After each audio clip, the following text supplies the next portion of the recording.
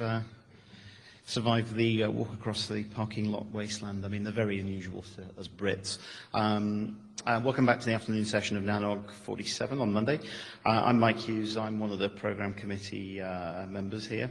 Uh, we're going to start off with three lightning talks, but before we do that, uh, a couple of pieces of administration. First of all, if you uh, have got an idea for a lightning talk for NANOG 47, we're still accepting submissions. You can submit uh, later on today. You can submit right up to 7 p.m. this evening, and then the uh, PC will vote on the uh, lightning talks that we'll see tomorrow. Uh, steering committee elections. This, remember, this is your community, and and it, you know what you have what you have to say matters. So you can go and vote for uh, for the SC. Uh, that all that's on the NANOG website, and you can vote up to 9:15 on Wednesday morning for that. So vote for the people that you want to run uh, run NANOG and, and steer, things in the right direction. And then the other thing is the program committee nominations close for that this evening. So again, if you, get, you know anybody that's interested uh, in being on the program committee or um, if you're interested in being on the program committee or you want to just nominate somebody who you think will be a great addition to the program committee, do that because uh, yeah, we really do need all the help we can get in the nicest possible way.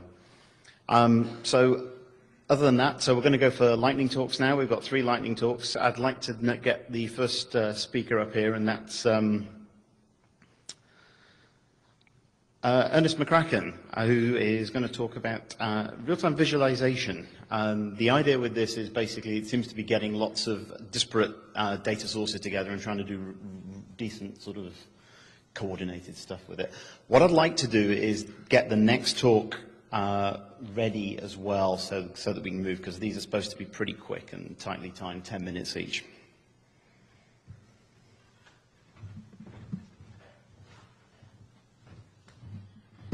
Uh, hi, uh, my name is Ernest McCracken. I'm a PhD student at the University of Memphis. Um, I neglected to look at the location of the lightning talks. I actually thought that uh, they would put me in a small room with maybe like 10 people to present to, so it's a little intimidating. Uh, if I if I mess up and say something completely wrong, please don't call me out on it. Uh, no, just kidding, just kidding. Um, so the work I've been doing, I actually started working on this in my uh, undergrad, and uh, it's called NetViews Real-Time Visualization of Internet Path Dynamics for Network Management. And the idea of the tool was to help both researchers and network operators um, visualize um, routing paths and to help uh, network operators and help researchers in developing future protocols. Um, so the, the motive for visualization, um, internet topology mapping and visualization attempts to graphically represent internet architecture. Um, and there's several examples I have here. Of course, Kate has done a lot of work in um, internet visualization. Uh, there's other tools out there, Mercator, um, Rocket Fuel. And uh, why to visualize internet topology in real time, uh, which is our, our main motivation here. Uh, so you want to monitor the reachability of a network. You want to identify anomalous depeerings, and you also want to identify uh, route hijacking and misconfigurations quickly so you can mitigate these effects or uh, take steps to um, to um, catch these effects. Um, so we've been developing the next generation route monitoring software, uh, high data completeness, in, uh, integrity, scalability, and accessibility. We want the data to be accessible by uh, everyone. Um, so the, the first component, which uh, was actually developed at the uh, Colorado State, uh, it's called BGPMon, and it's a lightweight BGP monitor with over 70 peers, and it um, gives you this, uh, presents this information in real time. Because uh, other solutions like Route Views, I think it updates every 5 or 10, 15 minutes, and you can download the updates. And they actually make our work possible by giving us data in real time. And our component, of course, is called NetViews. Um, originally, it was just a tool to download the updates, and that was it. And then I was like, well, you know, if we're getting this information in real time, why don't we visualize it also? and so we took, we visualized AS paths, and then after that, I was, uh, it occurred to me, well, if we're able to catch routing updates in real time, why don't we also uh, try to attempt to get the forwarding paths uh, during these routing events? Uh, so just a quick look at the setup. So here on uh, the left here, you have uh, show my pointer? Yeah. You have BGPmon, uh, which connects to, uh, actually, we connect to BGPmon, and they send us the routing updates.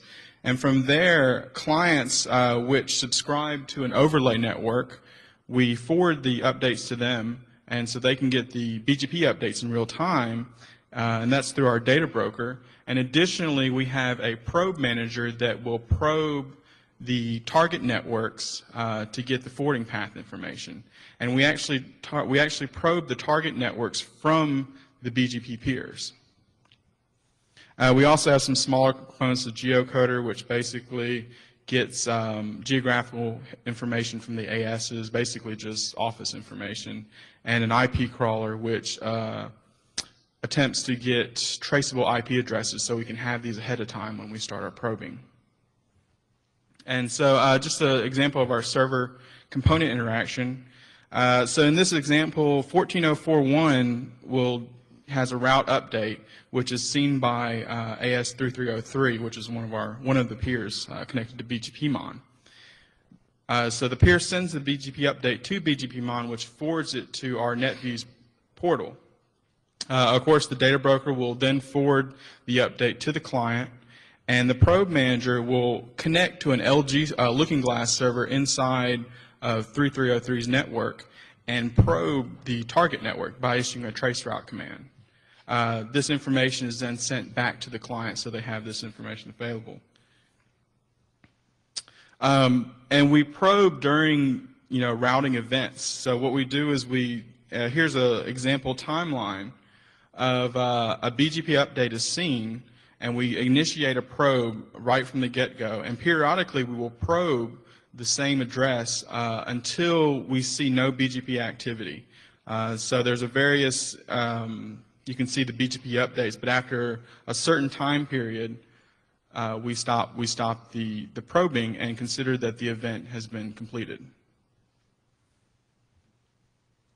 Um, this is just a couple of the screenshots from uh, a prototype, and you see uh, a path to um, this dash 24. You can do searches and browse ASs and see uh, the prefixes that they are originating.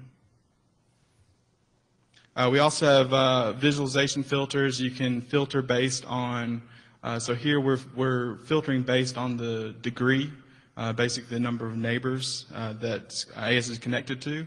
And we can see, um, for instance, this way, the most, the AS is with the highest degree. And uh, here I had a live view. I actually neglected to upload the actual video.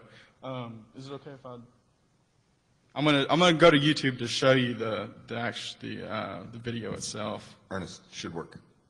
Okay, cool. Should have done this beforehand, actually.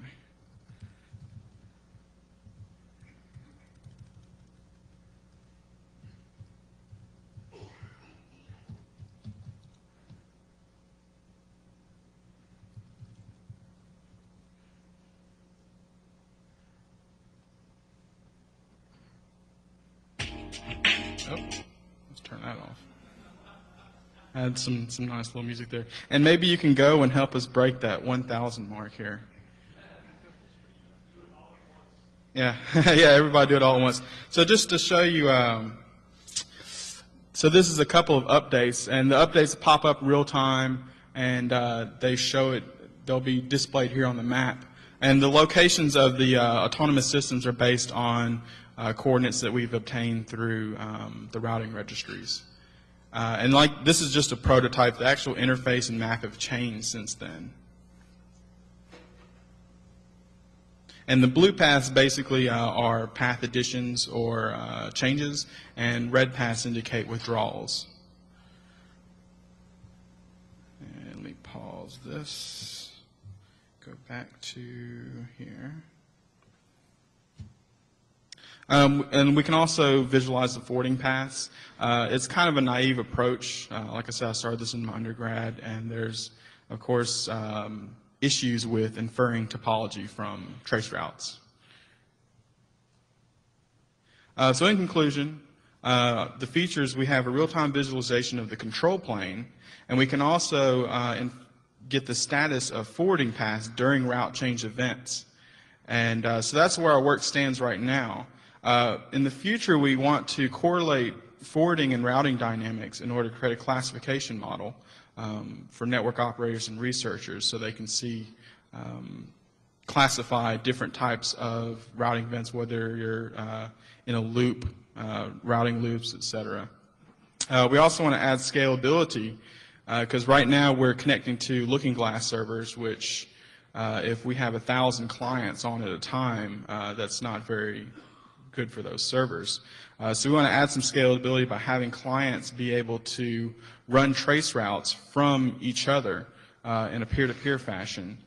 And uh, that will help get uh, more vantage points back to the same target network. And we also want to give client users the ability to communicate with each other using the tools so that you, you can uh, communicate with others and talk about certain events that are occurring. And that is about it for me. Oh, also acknowledgments. Uh, we're funded by the National Science Foundation, and uh, our collaborators are, um, we have collaborators at UCLA, um, Colorado State University, and the University of Oregon. And if anybody has any questions. Uh-oh. Uh, while we're getting questions, could I get Jim Cowie from Renesys up here, the next speaker, so that he can get ready to do his talk? Hey, um, I'm sorry I missed the beginning of your talk. I was trying to figure out if you could YouTube. But uh, that's very cool. I was wondering what it would require to run it, um, to, you know, what infrastructure you need to run this tool. Oh, actually, it's it's I implemented it all in Java. So we run the server portal on our on in our lab, and clients. I mean, as long as you have Java on your computer, you can run the client. It's basically just a swing swing framework. Oh, okay, so we could like uh, put a put a pointer up to it on route views or something like that. Yeah, yeah, and I'll um, I'll uh, I don't have the website here, but uh, get with me afterwards, and I can I can give you uh, you know uh, information on looking at our research. And if any companies uh, have summer internships, I'm kind of uh, you know I'm, in the academic setting, but I'm I have a little I haven't had much experience in operations and in the field. So if any companies have summer internships, just let me know. I hate to plug myself there, you know. But, uh, thank you. Okay, thanks very much. Ten minutes, perfect.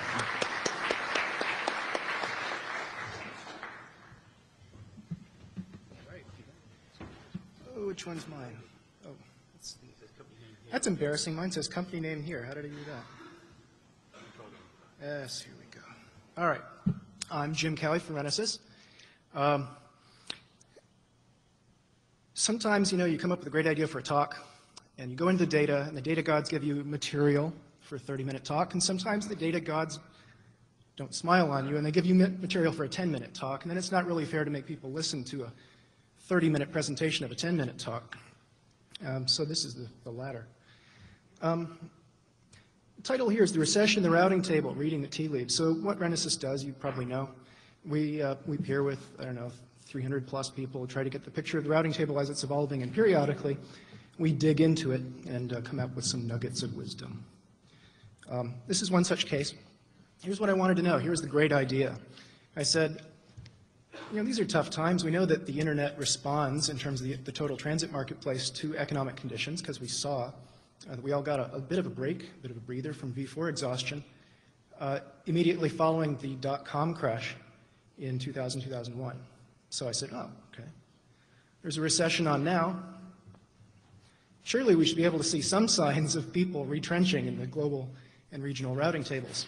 Uh, it makes sense, right? It's tempting. Enterprises are smart. They're rational economic players. You might want to scale back provider diversity, choose a cheap provider, maybe even leave the internet. So as con- contracts are expiring or companies are going bankrupt, like hedge funds, we should be able to see the signs in the routing table. Nice idea for a talk. So do we, in fact? Well, so here's the curve I expected to see. Here's three years of the S&P 500 going down. It's come back. You've probably read about this. Um, there's another curve that looks like that. Here's the Baltic Dry Index, which is a cool index that measures the cost of renting container ships to ship stuff across the oceans physically. Went right in the basement. 90% collapse. So three years of North American routing. I said it's got to go. Oh, I'm sorry, I have it upside down. It's actually like this, of course, because routing didn't slow down. It doesn't follow normal economics, it just kept going up. The amazing thing is the consistency of the rise. Too much gain. Um, you know, it goes up. This is the North American curve, but you can look at the planetary curve, and it looks very similar to this. It goes up, multiple percent per year. Come hell or high water, there's no depression visible. Great, there goes my talk. So, you know, why does the table keep growing? Well, enterprises don't really cut costs by leaving the internet. Now, they may cut costs by reducing diversity or by putting off their plans to acquire more provider diversity. Um, in, in an economic analogy, cheap transit and cheap address space um, is kind of like easy money. You just expect that with that kind of stimulus out there, with transit prices falling to single dollars per meg, you're going to get inflation in the table, and it continues. There's also the possibility that as V4 starts to run out, people may be wanting to put their assets in the table to show everybody that they're making great use of them. So let's take a quick look. Um, looked at the 1st of October, October 06, 07, 08, 09. Routing table goes up. Um, I've broken it out here by how many providers each one of these prefixes had. And you can see from these rough numbers that little hair more than half the table is actually just hanging out there with a single provider, which I guess is good news for the V6 transition. Um, uh, 29% have two, and it goes down from there. Uh, one of the interesting things overall is that you see that the number of prefixes that carry four or more providers is going up. That's about the only healthy part that's, that's really got a substantial growth rate. Um, so let's take a look at each category just real quickly. Um, what, here you see a chart of the, um, just the subset of people in the table who have one provider, okay? Um, so what this says is that from 06 to 07, 68% of those still had one provider. And the next year, 66% of those still had one provider. Sort of a recurrence. Um, some double, double digit percentage of them sort of vanish into nowhere, usually because they are big piles of slash 24s that are not around a year later because they got reaggregated. Good job. Um, and some small percentage of these guys go to two or three providers or four, but you know, it's not a lot. And if you look, as things go from 07 to 08 to 09, there are fewer and fewer people choosing to upgrade. Similarly, if you have two providers, there's a lot fewer of them actually going out to buy the third provider as the recession kicks in. Uh, the rate of people going from 2 to 3 goes from 11% to 11 to 8%. The number going from two providers to 4 plus goes from 4.3 to 3.2 to 2.9. You can kind of see it dwindling, right? These are people, I claim, who are postponing the investment in additional providers, probably because of economic conditions. They're not leaving the internet. Mostly, they're not going to one provider either. Um, they're, they're just carrying on. Triply homed prefixes are kind of a sweet spot. Um, they just renew. Some of them will bop down to two, some of them will go up to four, but usually they stay at three. The interesting kind of thing here is the, subset of highly multi-home prefixes with four or more providers. Um, it's actually becoming a larger and more stable class over time. Um, they renew. In other words, if you have four plus providers, you are highly likely to have four plus providers next year. You don't tend to go down to three to two to one. And so really this is about where this idea ends. We thought that we might get some, some break. We thought we might see um, the growth of the internet slow down at least a little bit because of the financial train wreck worldwide. But I think cheap transit has killed that theory.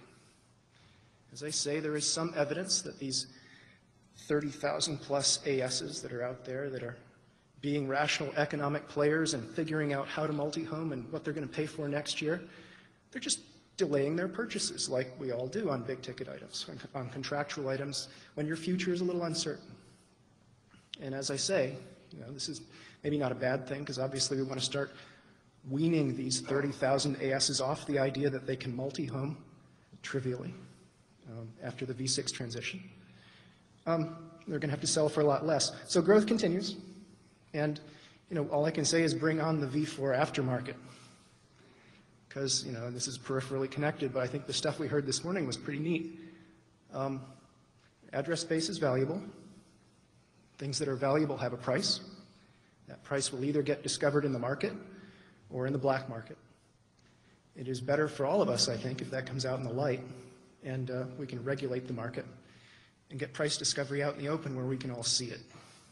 It's my two cents. That's it. Well, we have time for questions if there is any. And while we're doing that, uh, if we can have Joe Abley uh, up to the front, uh, ready to do his lightning talk. No questions? I spy Randy Bush. Ah, yes. Randy Bush, IIJ. Yes, sir. Seeing as BGP is a brilliant information hiding protocol, and there are papers after paper which demonstrate that looking at BGP data from vantage point like Route Views, RIS, and Renesys don't tell you much about the real topology of the internet. I'm kind of wondering how you judged somebody had only one provider. Oh, it's not a value judgment, right? I mean, uh, you, you could have a really good provider. That's all you need. How did you judge how many people had only one provider? I'm calling bullshit. Okay. Uh, Talk- When you say, Talk to me after. Patrick Gilmore Akamai, when you said provider, I assume you meant transit provider? Yes.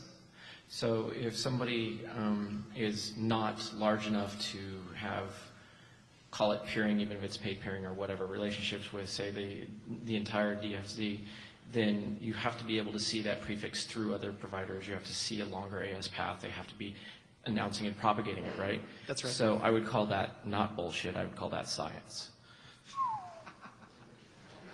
I, I can't add to that. And the 10 minutes for that lightning talk are up, saved by the bell. Uh, Joe Abley is our next talker. Thanks very much, Jim.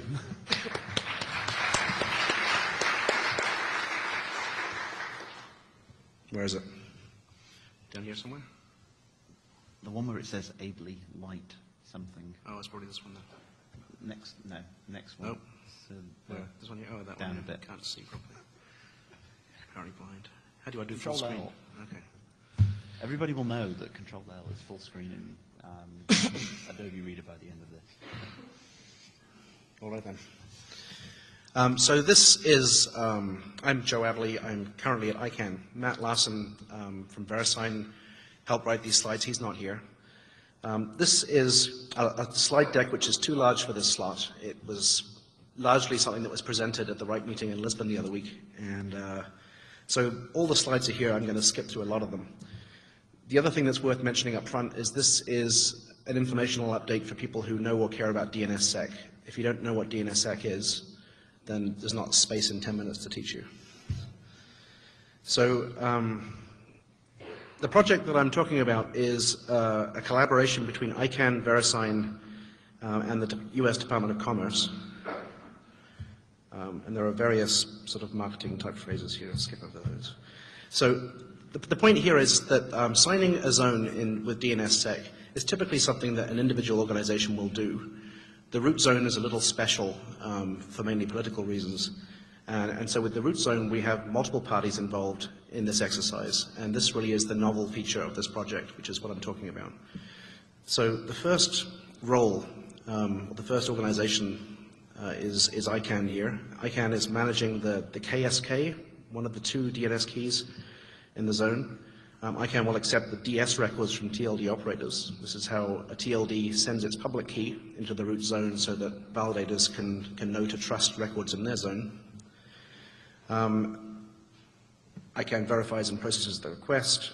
ICANN sends the request to the Department of Commerce. So for those not familiar with the current unsigned chain of command in making changes to the root zone, this largely follows the same pattern. Um, ICANN collecting information, US Department of Commerce authorizing it, and VeriSign publishing it. so in specifically with DNSSEC, the DOC will authorize uh, DS record changes, which they don't currently do, um, DNS key sets, which they also don't do, um, and they also check that ICANN has followed the various procedures that they're obliged to follow when authorizing requests that arrive from TLD managers. VeriSign manages the zone signing key. Um, they implement the changes that NTIA have authorized. They sign the zone and they distribute the zone. So same as today, plus DNSSEC. So here's the same thing in diagram form. I'm not sure if you can see this. Um, same sort of idea. I won't dwell on it. The slides are on the webpage, I think, if, uh, if you want to look at uh, in more detail. So as far as protecting the KSK goes, in the X509 world, there's this concept of a CPS, which outlines and specifies the security practices surrounding key management. And for DNSSEC, we have this thing called a DPS, um, DNSSEC Policy and Practice Statement, and this is based on a framework developed by the .SE people. It's actually being pushed through the IETF as a publication process. So the DPS specifies all the things that anybody ought to need to know about uh, in order to be able to audit the procedures that are carried out or in order to gain sufficient confidence and trust for their own purposes that the procedures are adequate. and here's, here's that in another nice OmniGraffle diagram. So as part of this whole process, um, one difference from the way the X509 commercial CAs work is that we will involve community representatives in this process. So when we have um, key ceremonies in order to create or destroy or use the KSK in a secure facility, um, those ceremonies will involve third parties that are not ICANN, they're not VeriSign, they're not US government. Um, so part of those people will have hands-on roles actually exercising crypto cards, uh, um, smart cards as crypto officers in order to actually use the hardware security modules that contain the key material. Uh, other people will have responsibility for smart cards which are basically backup shares of the KSK, um, which are then distributed widely so that in the event of a disaster, you can recover a KSK using those, those, those, those shares. uh, we expect to have uh, third-party auditors check that ICANN is following the procedures that we've documented. And we also expect the ceremonies to be open. Um, we, have, we, we expect, if we are able, to, to actually webcast the entire ceremonies in real time. Um, if, if, for whatever reason that's not available, then there's certainly the, the, the video, the recorded video will be published shortly afterwards. So here are the technical details.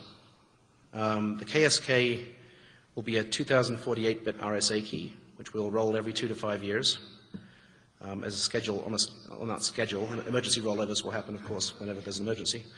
Um, we'll use 5011 for automatic key rollovers. And we will use signatures based on SHA-256. So there's an operational implication of this, which is that SHA-256 for use in DNSSEC has only very recently been documented. It's only just received its code point. And as far as I know, no shipping code actually supports this. So that, that might sound slightly ludicrous to go ahead with something that nobody can use, but at the same time, this does force every validator who actually wants to use a signed root zone to upgrade their software before they start, um, which might well be a sensible approach. The zone signing key, which is held by VeriSign, exercised by VeriSign, is a 1024-bit RSA key, and we'll, they will roll this four times a year. And the zone will be signed with NSEC, again with SHA-256 um, for signatures. The, the um, that covers the DNS key set in the root zone will be valid for 15 days, and it will be re-signed every 10 days. The, every, the records for everything else in the zone, which is principally NS rec no, not NS records, they're Apex, NSEC records and DS records, um, and Apex records, uh, will have a validity of seven days, and those will be re-signed twice a day, and that frequency is because that's how often the root zone is actually generated. So every time it's regenerated, we'll re-sign. VeriSign will resign. uh, as I mentioned, we will have key ceremonies whenever we have to manipulate or otherwise refresh the KSK. Um, and we will exchange data between VeriSign and ICANN on a regular basis on this four times a year schedule in order to, uh, for the ZSK to be signed by the KSK. So four times a year, VeriSign transmits a key signing request which contains a DNS key set, and a requested validity period, and, and there will be a ceremony in which that is processed and signatures are applied by the KSK. So this is the slightly novel part, the way we split these operations between two organizations. Uh, ICANN is the organization of these three that will publish the trust anchor for the root zone. Um, we plan to publish this in a number of ways. It'll be an XML wrap document and a plain DS record for cutting and pasting. Um, we will also publish a PK PKCS 10 CSR, and the reason for doing that is that this is a, a format of key material that is readily, readily used by existing systems. Also something that an existing X509 CA that you might already have some, degree, some ability to trust can easily sign using the existing X509 infrastructure.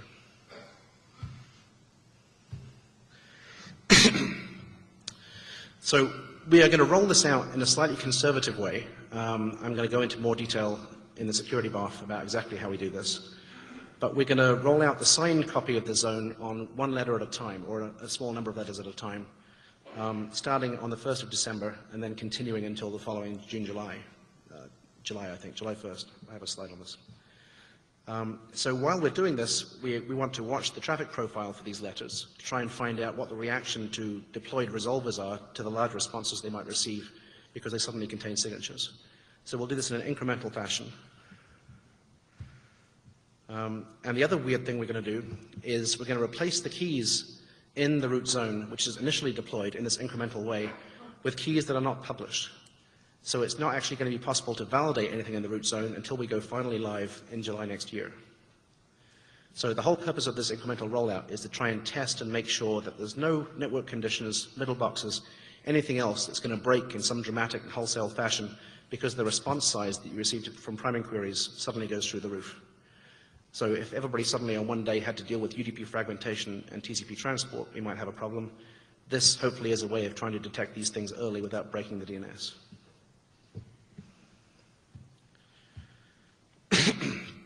So here's the timeline. 1st of December this year, the, the root zone will be signed. Again, signed in such a way that it can't be validated. Um, the, the signed zone will be tested internally to start with. We'll start rolling this out letter by letter on the root servers. July next year, we will roll the KSK, and then the signed root will be fully deployed. So July 2010 is when a configured validator with an appropriate trust anchor can get um, to make use of DNSSEC for every TLD that supports it from the root zone down. And as I mentioned uh, later on today, I will I have a larger slot to talk about this if anybody's interested in details, either from the operational perspective or the design perspective. Um, one other comment is that the full documentation from an architectural overview, the, the DPS documents, um, the requirements documents that Department of Commerce provided that, that drove the design of this project are all expected to be released and made public sometime in the next few weeks. So um, not quite live yet, but hopefully in the next couple of weeks um, you'll be able to read all this stuff directly. That's it. Any questions now? Do we have a minute? In theory, no, but Well, there's no questions anyway, so and there's no questions. So great, thank you very, very much, Joe. If you want to catch up with that uh, ISP security block, that'll be after the coffee break.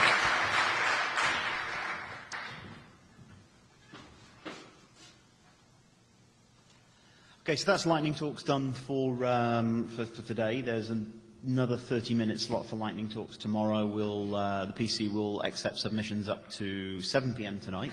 At which point we will um, then select the three uh, which will uh, will go on the agenda for tomorrow.